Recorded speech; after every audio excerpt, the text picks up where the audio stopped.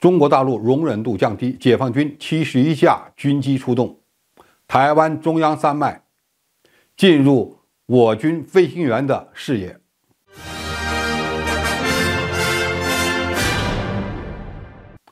观众朋友，大家好，我是付天少。在中美元首巴厘岛会晤之后，外界对中美关系的改善期望值很高，而中国则一再警示美方，台湾问题是一个定时炸弹，不能玩火。然而，仅仅一个半月后，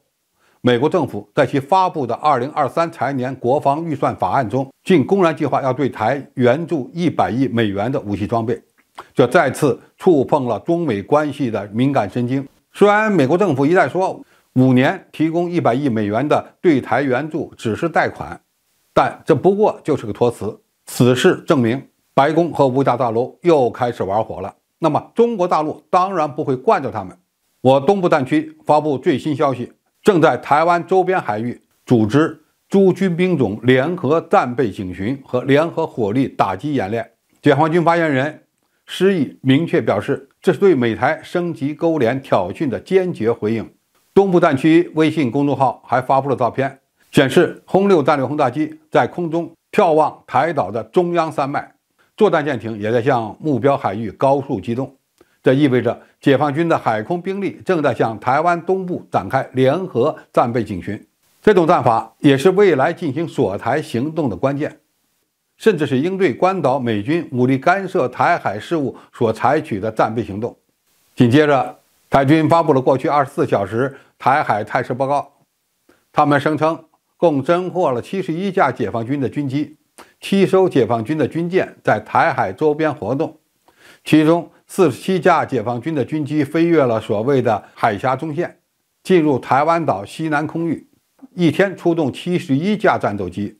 这可是二零二二年以来解放军军机出动规模最大的一次。飞越海峡中线的解放军飞机的数量也创下了第二高。可以说，此次联合战备警巡和联合火力打击演训的针对性、警告性非常强。拜登刚刚签署了2023年度国防授权法案，该法案除了有条件的给台湾地区当局提供每年20亿美元、总计100亿美元的贷款以外，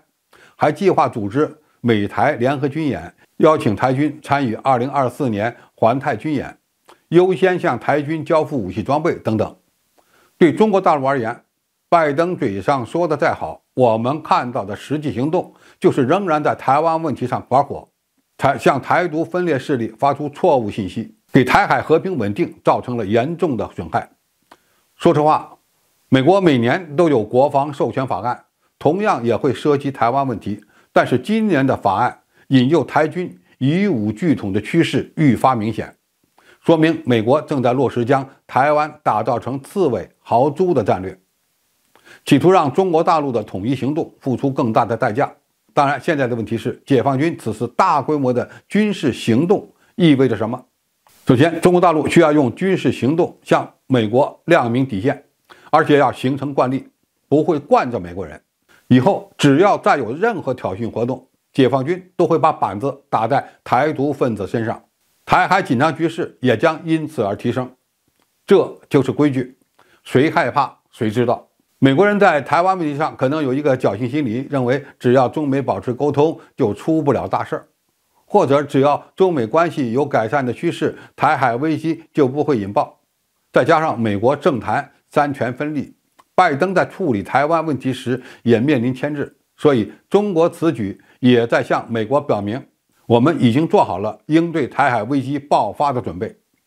接下来，美国下院众议院议长窜访台湾。又有可能登场，